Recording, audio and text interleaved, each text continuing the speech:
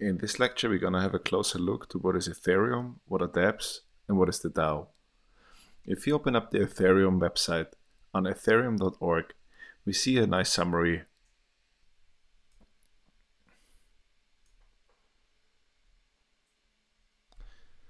First, let's have a look at what are dApps. dApps are distributed applications. Instead of having an app running on one server and another app connecting to this, we have the app running on every server, on every node. In the next sections, we will learn how we can program these dApps and deploy these dApps on the blockchain. They're running in something called an Ethereum virtual machine, and there are several high-level languages available, for example Solidity. They are compiling to something that looks very similar to assembler. There are several opcodes, and those opcodes are running directly on the EVM in the blockchain.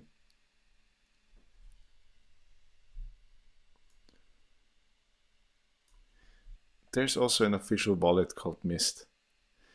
In this wallet, you can create accounts, you can deploy contracts, or you can add already deployed contracts and interact with them.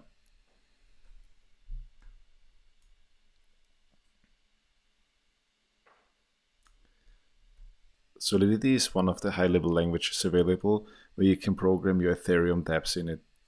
It is by far the most advanced and widely used language available.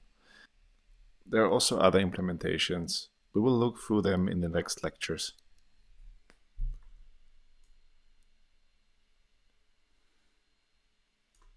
If you're running dApps, those dApps are directly running on the blockchain. There is no single entity which could take these dApps offline. One of the biggest use cases for dApps is everything where money is involved. If your app is running on the blockchain, it is certain that not a government or anything else can take it down or alter the code. Once it's deployed, it's deployed and can only be altered when the logic in your code dictates so. For example, you can start a crowdfunding campaign on the blockchain and the code and the money resides directly on the blockchain. There is no single entity in between.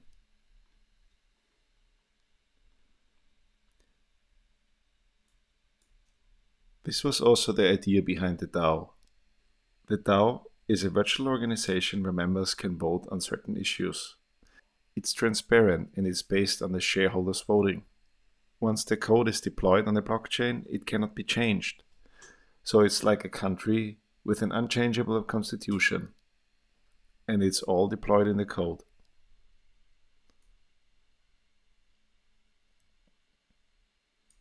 There are already many great projects out there. One of the sites that lists those projects is Ethercasts. You can reach it when you go to dapps.ethercast.com.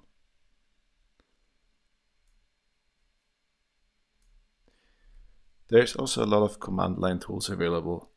One of the most famous clients is written in Go and is called Go Ethereum or simply Geth. In the next lectures, we will download and use Go Ethereum a lot.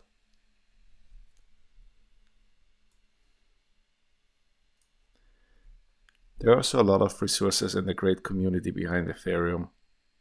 Besides this site and the blog, you could also go to Reddit and ask questions. There's a huge amount of people active on Stack Exchange. You can go to meetups, or you can go to conventions like the DEVCON 2, which is currently in Shanghai.